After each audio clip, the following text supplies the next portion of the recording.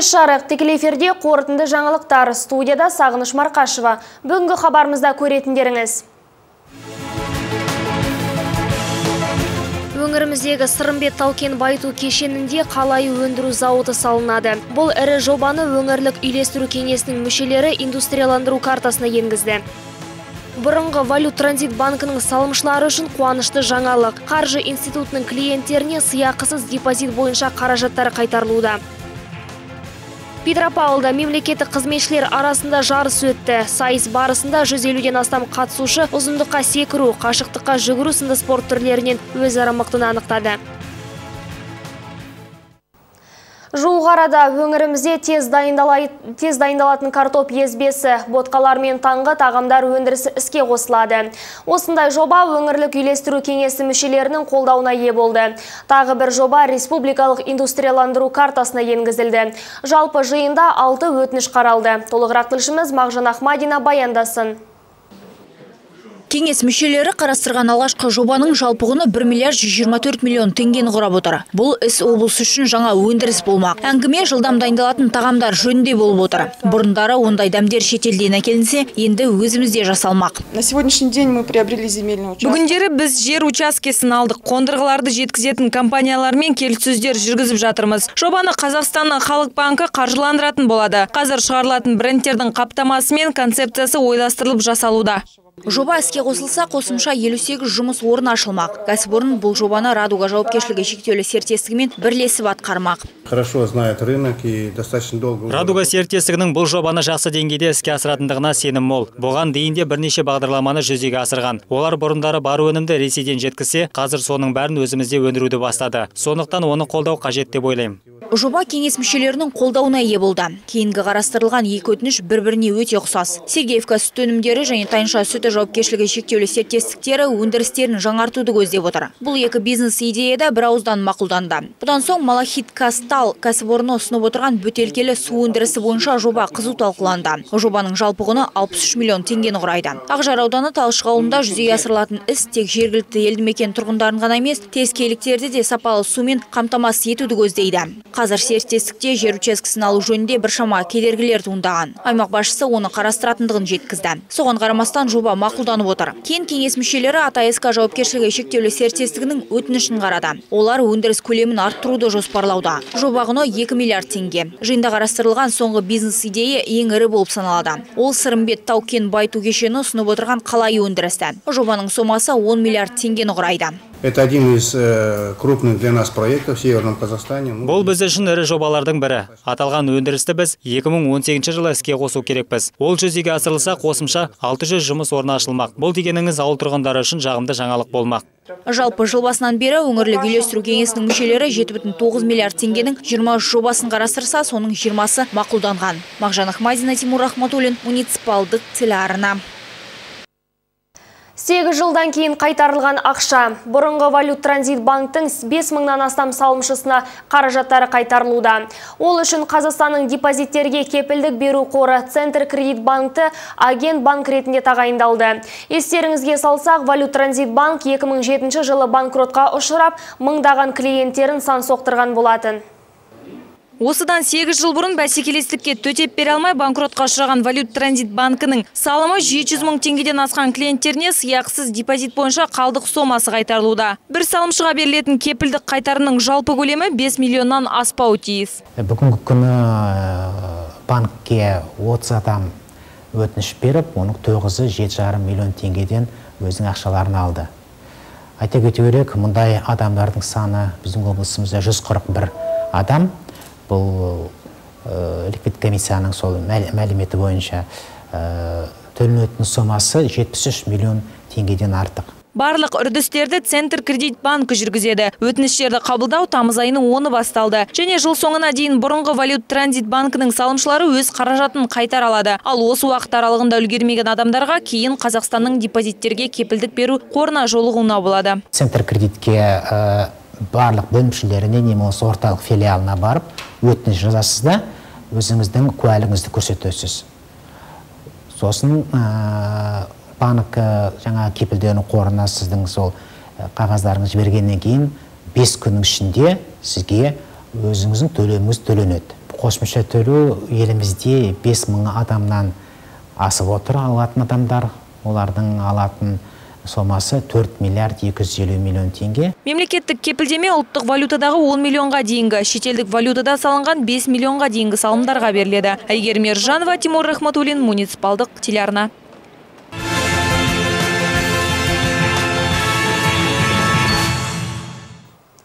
Хабарымызды жалғастырамыз. Осы демалыс күндері Петропавл қаласында су беру тоқтатылмайды. Бұл жайында Қызылжар су кәсіпорының мамандары мәлімдеді. Осыған дейін ғаламтор қолданушыларына әлеуметтік желі арқылы ауыз судың уақытша тоқтатылатыны жөнінде жолданған СМС хабарлама жалған болып шықты. Кәсіпорын басшылығындағылар су тарату жүйесін жуып шаю қыркүйек айына жоспарланған дейді. Ал қазір серіктестік ағымдық жөндеу жұмыстарын суды тоқтатпай жүргізуде в случае отключения воды тіршілік көзі уақытша тоқтатылған жағдайда біздің кәсіпорын міндетті түрде ол жайында тұрғындарға ескертеді. көбіне бұл жаңалықты қалалықтарға жергілікті бұқаралық ақпарат құралдарының көмегімен жеткіземіз. Облыс орталығында жылу желілерінің жалпы ұзындығы 236 шақырымды құрайды. Бүгінде соның 72 пайызының тозығы жеткен. Бұл өз кезегінде соңғы жылдары жылу шығындарының ұлғаюына әкеліп соқтыруда.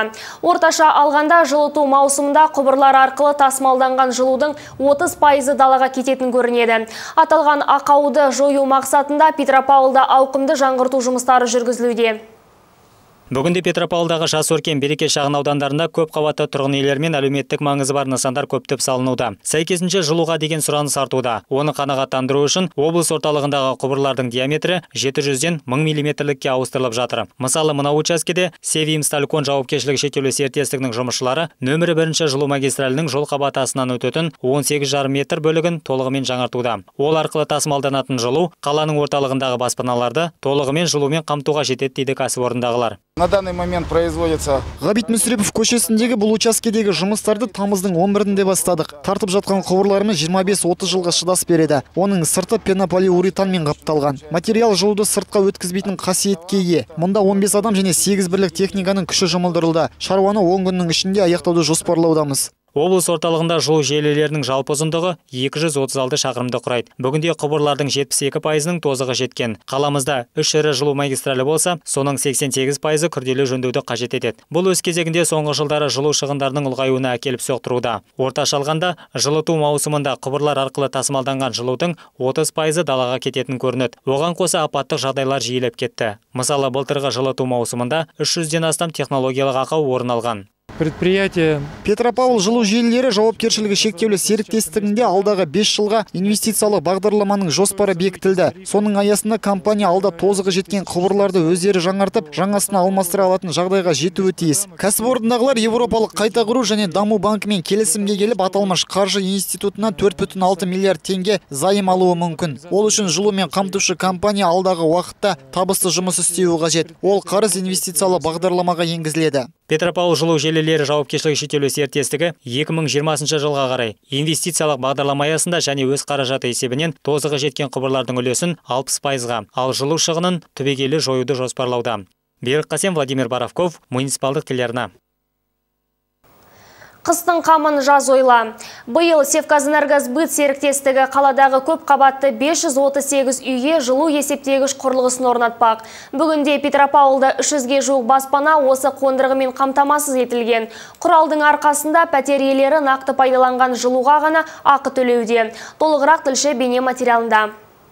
Дәл осындай жылу есептегіш құрылғысы қаладағы әрбір пәтерде болу керек. Өйткені бұл қондырғыны орнату арқылы тұрғындар жылуды төлеуге жұмсалатын шығынын азайтады. Я председатель КСК шести домов. Мен жетекшілік ететін кооперативтің қарамағында алты үй бар. Олардың барлығында жылу есептегіш құрылғылары орнатылған. Оған тұрғындар еш өкінбейді. Қондырғыны компания өкілдері өздері қойып берді. Қызметтің құны 700 мың теңге. Оның ақысын үш бөлмелі пәтер иелері 800, екі бөлмелері 600 теңгеден, ал бір бөлмелі пәтер тұрғындары 400 теңгеден төлеп келеді. Өте тиімді.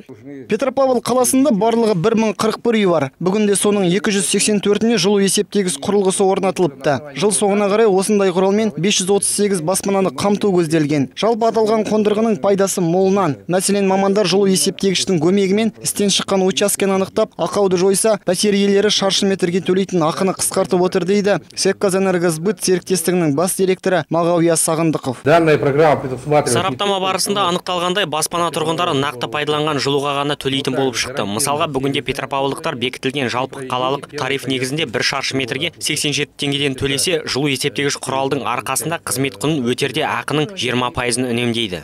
Серіктестіктегілер келесі 2016 жылы облыс орталығында тағы 234 баспананы жылу есептегіш құралмен қамтуды межелеуде. Жалпы бұл жұмыстарға мемлекеттен 386 бүтін 8 миллион теңге бөлінген. Байболат құлтанов владимир боровков муниципалдық телеарна.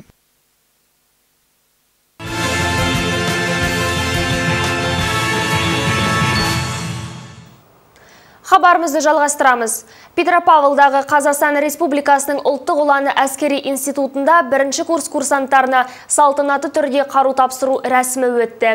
Болашақ офицерлер тамыз айының бірінен жас жауынгер курсынан өтуде.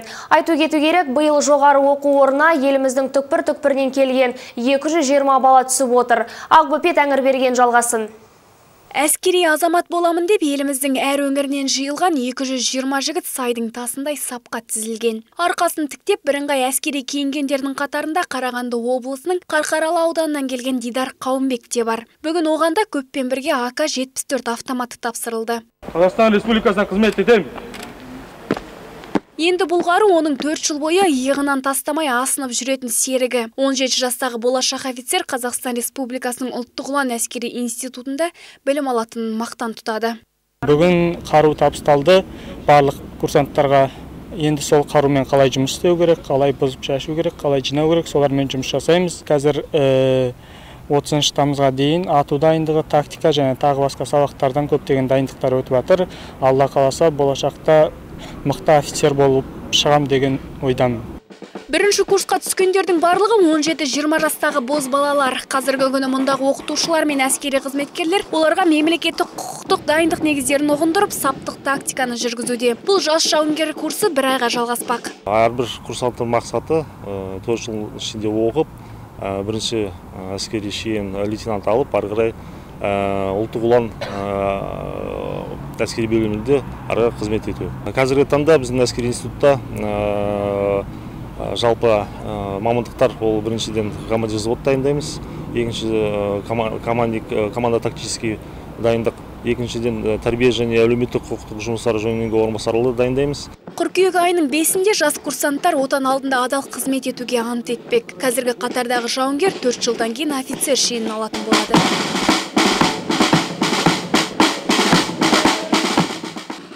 Ақбөпе тәңірберген роман куценко муниципалдық телеарна Бүгін Өрлеу облыстық педагогикалық қызметкерлердің біліктілігін арттыру институтында жаңа дәрісхананың таспасы қиылды. Ақпараттық құралдармен жабдықталған оқу кабинетінде халықаралық дәрежедегі сертификатқа ие жаттықтырушылар өңір педагогтарына берілер білім сапасын жоғарылатуға атсалыспақ. Тілшіміз Ақбөпе берген тарқатсын. Жаңа кабинетте оқылатын дәрістер бір бағыт қана қамтып қоймайды. Мұнда үш деңгейлі ұстаздар білім жетілдіреді. Айта кету керек, облыс мұғалімдерінің осы күнге дейін 1484 мұғалім осы бағдарлама бойынша сертификатын алып өз қызметін жүзеге асыруда. Үшінші деңгейлік бағдарлама бойынша бұл барлық пәндерді қамтиды. Бұның ішіне тарих та кіреді бастауыш білім де кіреді әрине жаңа филологиялық пәндер де кіреді.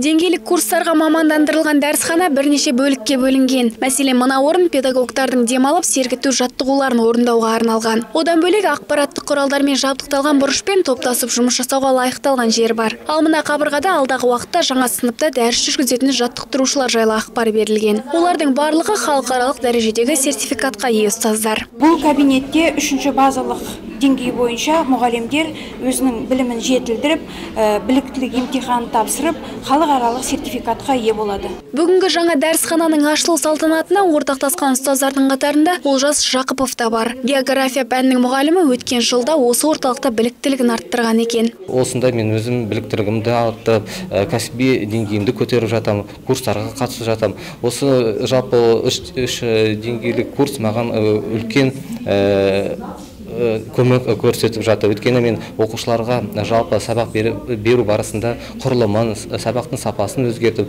оқушыға қызығушылығын арттырып оқушыларға ұнап жатыр. Жалпы өрлеу біліктілікті арттыру ұлттық орталығының жергілікті филиалы оқу маусымын тамыздың 24-нен бастайды. Ақбөпе тәңірберген роман куценко муниципалдық телеарна. Қолдан келсе көмек бер. Мектепке жол республикалық акциясына солтүстік Қазақстан облысының жастар бастамалары орталығы да белсенді қатысуда. Олар бүгін Петропавл қаласында тұратын Литвендер шаңырағында болды. Шара аясында өткен кездесуде бармен бөліскен жастар бір сөмке толы құрал жабдықты үйдегі балалардың үлкені Еваға тарту етті. Биыл балақай төртінші сыныпқа бармақ. Еваның анасы Таисия Литвинова қазір өзі жалғыз төрт баланы тәрбиелеп отыр. Ол жаңа оқу жылы қарсаңында көмек қолын созған жастар жастарға ризашылығын білдірді. Очень приятно, что меня не забыли, посетили. Бізге көмектесіп жатқандарыңызға өте қуаныштымын. Қазір балаларды мектепке дайындау тым қиын. Құрал жабдықтар қымбат. Алайда сіздердің арқаларыңызда енді Еваның барлық қажетті заттары бар. Тұңғышым енді жақсы оқып, сенімімді ақтайды деп ойлаймын. Жаңа оқу жылына әзірлік. Облыс орталығында тамыздың 15-і сенбі күні таңғы сағат 10-да Сокыл сауда үйінің алдында мектеп тауарлары мен оқу құралдарының жәрмеңкесі өтеді. Аталмыш нысан Мир көшесі 115 мекен жайында орналасқан. Онда киім кешек, сөмке, аяқ киім, кеңсе тауарларының сан алуан түрін 10 кәсіпкер ұсынбақ. Жәрмеңкедегі тауарлардың бағасы тұрғындар үшін қол жетімді болады. Айта кетейік, биыл қыркүйекте облыс орталығы мектептерінің партасына 20 мыңнан астам оқушы отырады. Ашық аспан астындағы концерт. Дәл осындай атаумен Петропавлда халықаралық жастар күніне арналған Open Air фестивалі өтті. Аталмыш кешке қаламыздың бір қатар өнер ұжымдары қатысып, көрермендерге тамаша көңіл күй сыйлады. Толығырақ мерекенің куәгері болған тілшіміз Байболат Құлтанов баяндасын. Бұл күні қалалық мәдениет және демалыс саябағына жиналғандардың қарасы қалың болды. Олардың барлығы көңілді билеп, әуелеген әнді қосыла шырқады. Ең алдымен фестивальді жергілікті Motion Force би тобы ашты. Заманауи ән ырғағына мың бұралған бишілер көпшіліктің қошеметіне бөленді.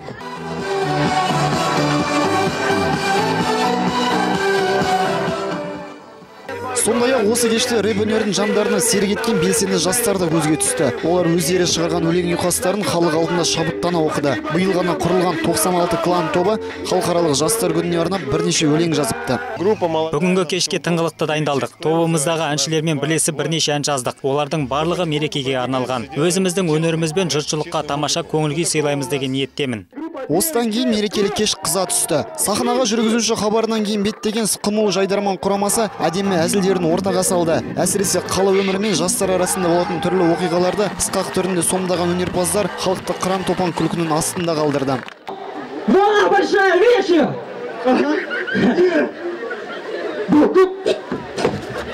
Как где, а? Как где? Вот большая луна! Вот она! Видишь? Вижу, вижу. Это тебе. мерекелік концертті тамашалауға келген көрермендер кеште мол әсер алғандықтарын айтады. Бүгін петропавлда жастар күні өте жақсы аталып өтілуде. Ән айтылып би биленіп жатыр. Осы сәтті пайдаланып отырып бүкіл жастарды жастар күнімен құттықтаймын. Мен саябақта серуендеп жүріп осы маңға келдім. Қарасам барлық достарым осында екен. Мұндай көңілді кешті өткізген барлық ұйымдастырушыларға рахмет.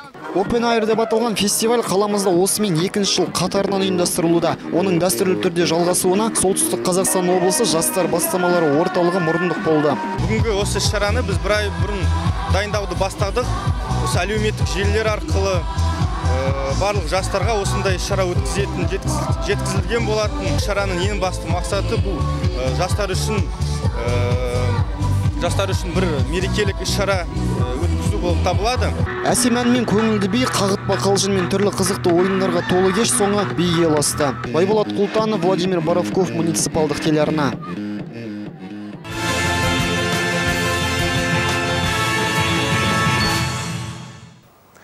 Хабарымызды жалғастырамыз.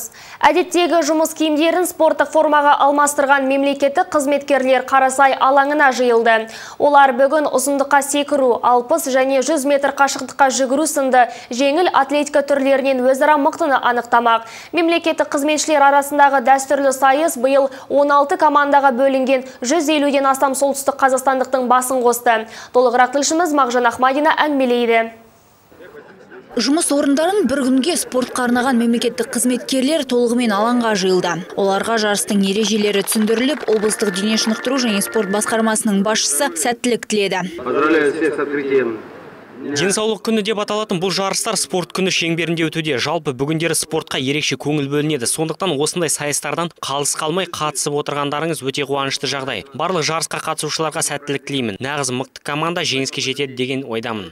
Кейін салтанатты түрде әнұран ойнатылып, спортшылар жарыс өтетін жаққа қарай бет алды. Ең алдымен ерлер ұзындыққа секіруден бақ сынады. Әзірге облыстық қылмыстық атқару жүйесі департаментінің мамандары жақсы нәтиже көрсетуде. Мұндай жетістіктің сыры жиі жаттығуда дейді мұндағылар. Командамызбен әрқайым осындай жаттығу жұмыстарын өткізіп қатысамыз. Біз өзіміз енді осы спортты ұнатамыз. Әрқашанда мекеме басшылық жағынан департамент басшылық жағынан қолдау көрсетеді. Көрермендер болса жарысқа қатысушыларға белсенді түрде қолдау білдіруде. Әріптестерінің өзгелерден оза шапқанын қалайды.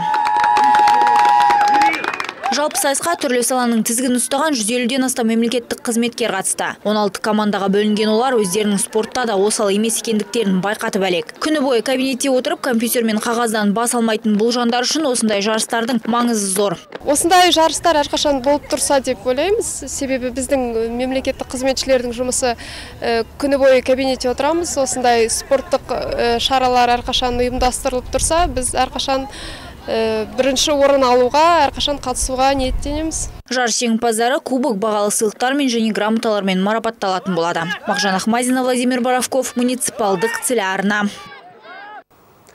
Бұйыл ата заңның қабылданғанына 20 жыл. Бұл жолы мейрам жексенбі күніне дәл-медәл келгендіктен дүйсенбі жұмыс күні болып саналмайды. Конституция мерекесіне орай қазақстандықтар қатарынан үш күн демалатын болады. Назар салып тыңдағандарыңызға рахмет. Эфирде келесі жүзіскенше аман сау болыңыздар.